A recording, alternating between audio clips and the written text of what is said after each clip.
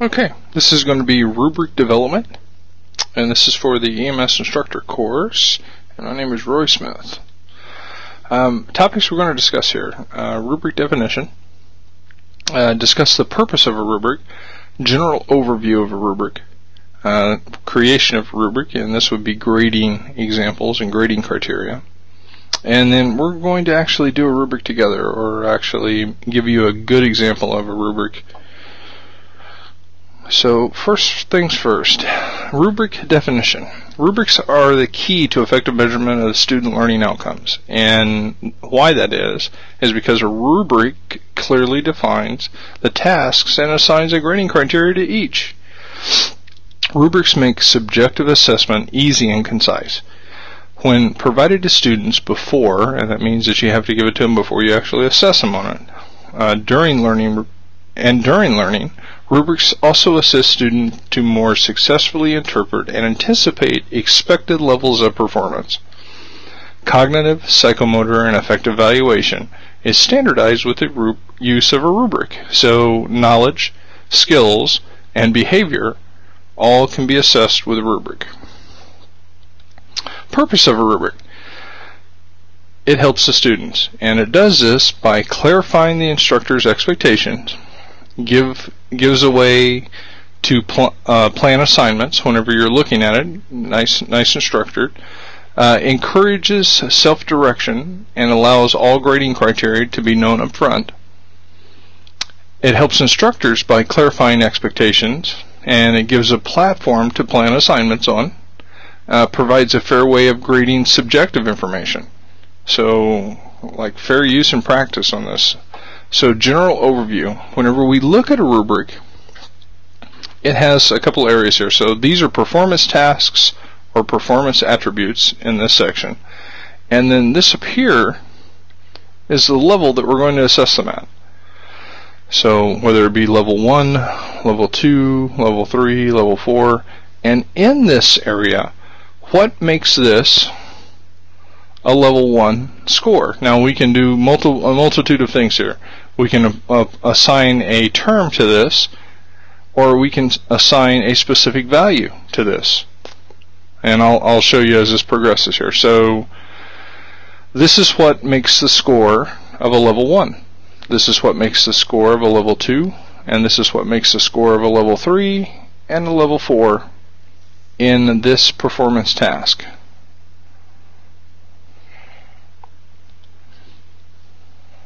Performance attribute or performance tasks. The number and type of rating scales and attributes are determined based on the objectives and standards of the performance task. So how many parts and pieces do we have for this this task that we're looking at grading here? Performance attributes are generally in the first column and define what's being graded. So that's what we just got through talking about. They're over on the left-hand column.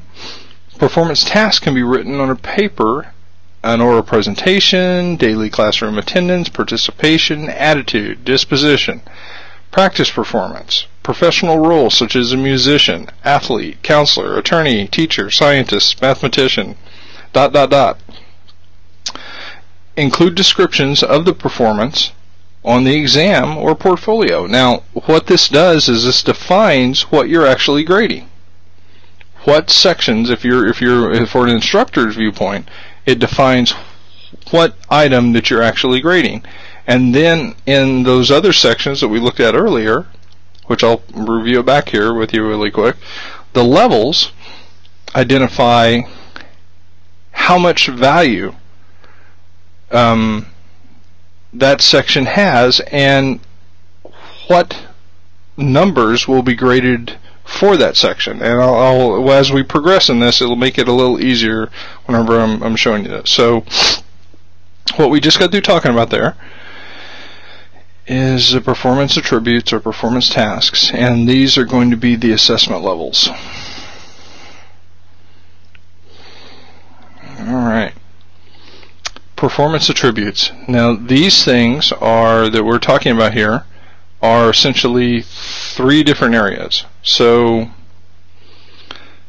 example, uh, integrity, which is an affective trait.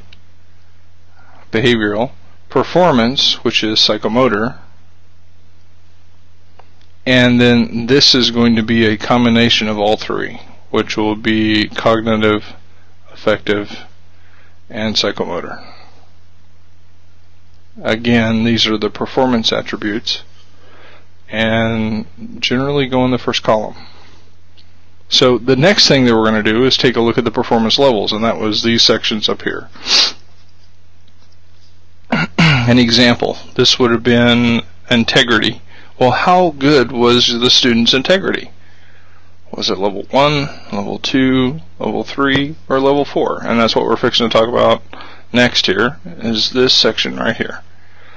So whatever your performance attributes or performance task generally go here in this first column and in this direction. Performance levels. A performance level defines the proficiency of the task and generalizes the scoring for that attribute or that task. Performance levels can be pass or fail. Criteria needs to be agreed upon whenever making performance levels, and we're going to talk about this a little bit more, what the question that should come to mind is, is what will the rubric be used for? Now, gatekeeping and gatekeeping would be entry-level job competency, uh, showing developmental growth, whether the actual student progresses or they do not progress. Achievement, that they have increased their knowledge level or have increased their achievement in these ways here. But that again is a performance attri attribute. Um, measured learning, that they've attained this knowledge, this knowledge, and then this knowledge, and have been assessed in these areas. So again, very simply, figure out what your performance levels are. In the performance levels, they can be graded in a multitude of ways. And I'm going to give you an example of this here. So level 1, level 2, level 3, level 4. Now this can be running in increasing score or increasing progression or it can run this way here. So if they're a level 4 student this could be advanced. In the same breath it could also be poor. So this could be a level 1 student instead. So it doesn't matter how we run these levels just as long as we're standardized.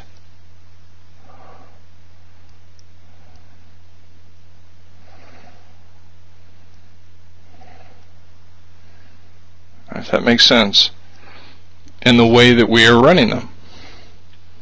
So these are examples of performance levels. On the top row, we're actually running in this direction here from basic to advanced, if you will, or beginning to advanced. In uh, the second row here, row 1, row 2, in the second row here, we're running in this direction, from poor all the way up to excellent. And this row here, we're also running the same direction, level 1 versus a level 4 student in row 3. And in row 4, now we're running in the opposite direction. So however you set up your rubric, it is it's irrelevant, just as long as it's concise with the rest of your rubrics that you've made. So the number of levels. Uh, if you have it on three levels, uh, good or bad, okay, and good are examples of the levels. Uh, good, better, and best, novice, intermediate, and expert beginner, advanced, beginner, and then target. Uh, you could even go one after target and put advanced into this section here. This would be more along the lines of a of a, a four level though, but in three levels, that's what we're talking about here. Approaches, meets, exceeds. That's a one that we see quite often. Uh, four level assessment. Very bad, somewhat bad, somewhat good, very good. So this may be your cutoff score for your assessment. Um, fair, good, better, best, novice, advanced beginner, intermediate, expert, beginner, advanced beginner, target, exceeds target, are distinguished.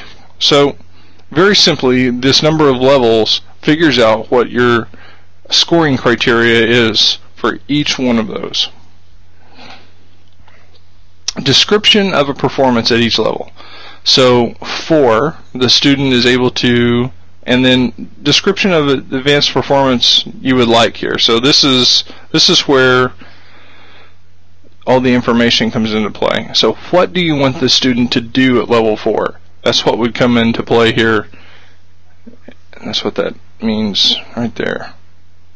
So all of that information be able to apply traction uh, to a, a, splint, maybe the task level for this. Uh, three, the student is able to description of what proficient performance would you like, um, but not yet able to completely excel. So this would be off of a four level here. This one here is middle of the road. Proficient, yet probably needs a little push on this level here. Level 2, the student is able to describe of what the basic performance would look like, but yet not able to describe description of proficient proficient performance. So they're almost there, right? And one, this is like a grading card. Did you make an A, B, C, D, E, or F? Or I'm sorry, A, B, C, D, or F on your score. So, example, an A, a B, a C, and a D would be an example of this. What defines the scoring of a D, what defines the scoring of a C in this specific test performance, what dis uh, describes the scoring of a B, and so on.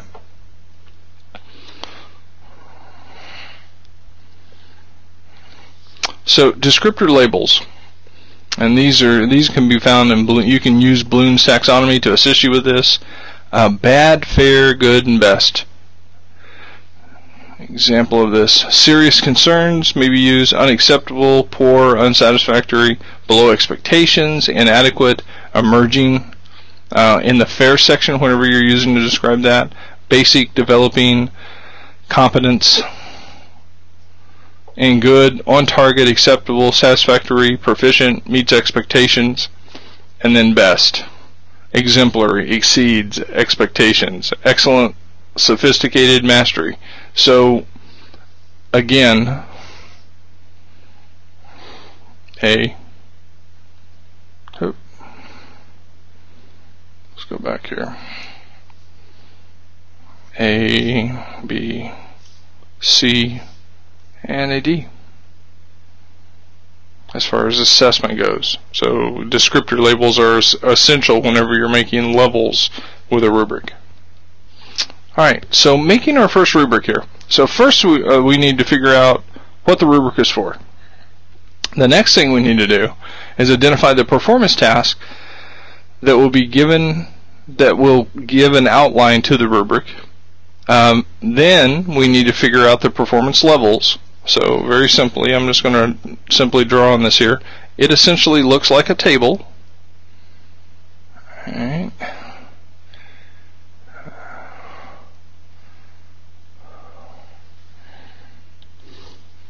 So figure out what the rubric is for. Identify the performance tasks that will be given that will outline the rubric, and that would be this right here. And then figure out what performance levels that you will be using in the rubric. And this would be the A, B, C, and D and F. Let's just add another one into there. So this is a five level rubric and then in each one of these change pen colors here this would provide the explanation of the performance level. Identify a cutoff score. So if our cutoff score is a B or above, then that's what needs to be identified or if it's a C, whatever is decided for a cutoff score for this, and then um, we'll give you a grading criteria. So whether it be very subjective or it actually have a point spread here. And I'll show you on the actual rubric. I made this rubric that you're fixing to see. This rubric is an example for sharpening a pencil. Now everybody kind of knows how to sharpen a pencil, but what this might, what this does here is this kind of pulls into play some areas you might not have thought about. So the first thing I did was make some performance tasks. So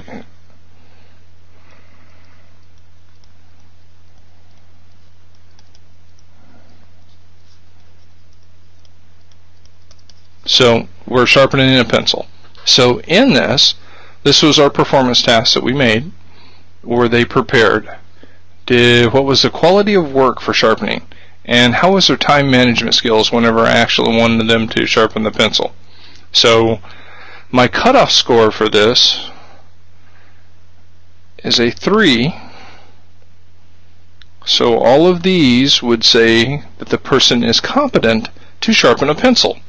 Now we'll read these because these are level 4 is above and beyond. I'm going to clear this all off of here. So again, the level 3 is my competent person and the level 4 is above and beyond. So my cutoff score, very simply, is here and below. Now I'll give you an example of these. You can actually even number these. This is worth 4 points. This is worth 3 points. This is worth 2 points. And this is worth 1 point. Now, in this sharpening, to actually pass, they're going to have to get 3 points, 3 points, and 3 points. And this is talking about grading here a little bit. And in those three points, that's going to be a 9 out of 9 to pass. Now, this would be my cutoff score. They have to get a 9 out of 9 to pass. However, there is a possible of a 12 out of a 12. So, what's the difference between those two? And let's kind of erase this up and show you here. So, this would be, if they got 12, it would be 100%. An example, 4 points was generated for this, 3, 2, and 1. Example. So in all actuality, a 9 out of a 12 would be a passing score for this rubric. Alright, so preparedness. Brings pencil 100% of the time, is always ready to sharpen. Well, that's excellent provides work of the highest quality sharpening pencil and sharpens pencil excellently. Routinely uses time well throughout pencil sharpening to ensure things get done on time. Group does not have to adjust deadlines or sharpening responsibilities because of this person's procrastination. Level 3 was my passing score for this. Almost always, 90% of the time, brings pencils and is always ready to sharpen provides high quality pencil sharpening, usually uses time well throughout the pencil sharpening, but may have procrastinated on one thing. Group does not have to adjust deadlines or sharpening responsibilities because of the person's procrastination. So that is what I'm considering competent. So if the person makes a 3 in this one, a 3 in this one, and a 3 in this one, that'll give him 9 points total. There are 12 points possible for this exercise. A 9 out of 12 would give him a passing score. That's what I mean by making a, uh, a cutoff score.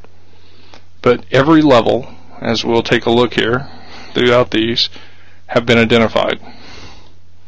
In preparedness, a level 1 often forgets and needs pencil or is rarely ready to sharpen.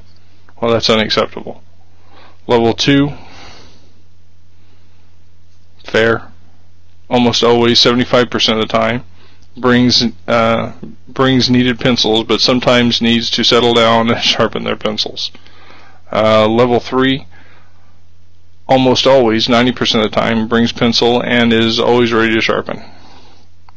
That would be passing. And level 4 brings pencil but is not always ready to sharpen. It brings pencil and is always ready to sharpen. My apologies.